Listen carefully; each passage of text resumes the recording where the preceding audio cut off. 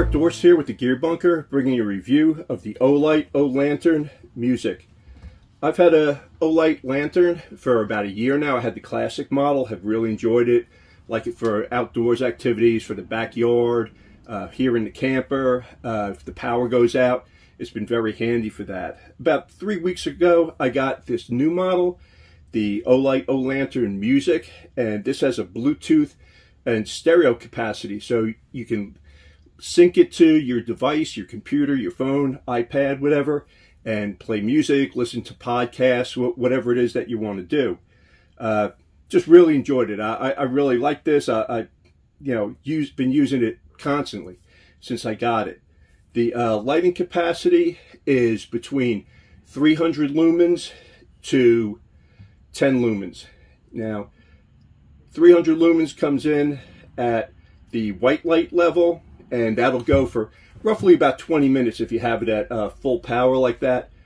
Down at the warm level like this, it's about 10 lumens, and that'll last about 110 hours, which is pretty nice. Uh, the power indicator up here on the top, which is where all the controls are. The green light there indicates that the power level is between 30 and 100.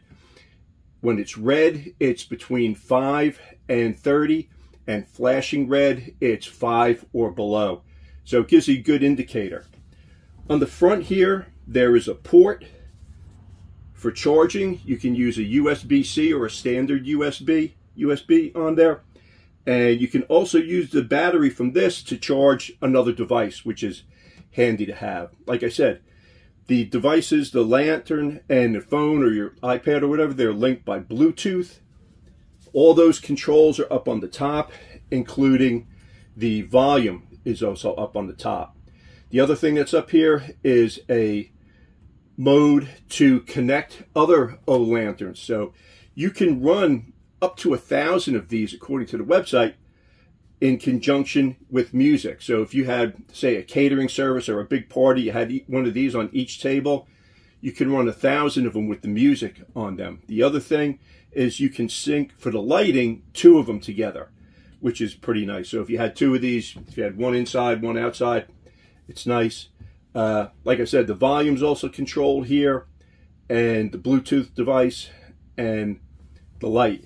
The other thing that's nice about this is when the music's on, it has a feature, and I'll put some music on here, where the light will pulse with the music, which is kind of fun thing to have. You know, if you're outside having a party, have some people over, it's just kind of nice. And what you do is you, you turn the light on, and when you turn the music on, you just hit the light button one more time, and it syncs with the uh, music.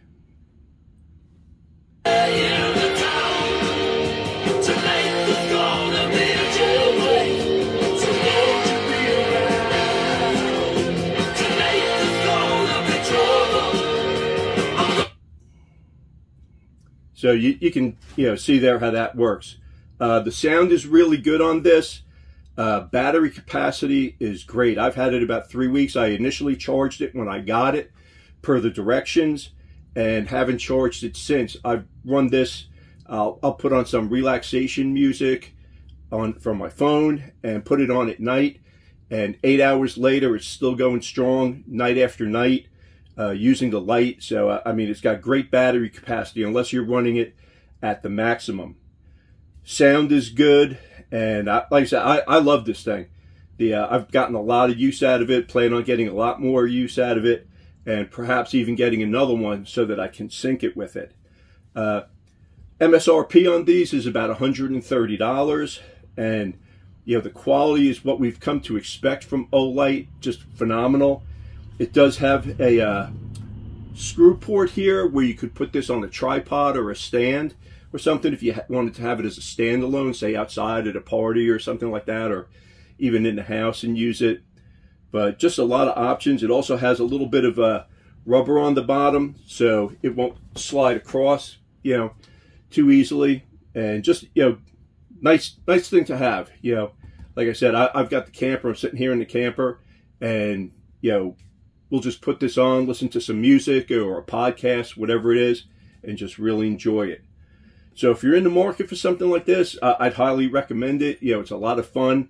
You can use it on the nightstand, inside, outside, camper, camping, for emergencies, whatever it is. You know, it's good to have. So this is Art Dorsch signing off for the Gear Bunker. Remember to like, share, and enjoy the Gear Bunker on Instagram, YouTube, Facebook, and LinkedIn. Art Dorsch out until the next review. Thank you.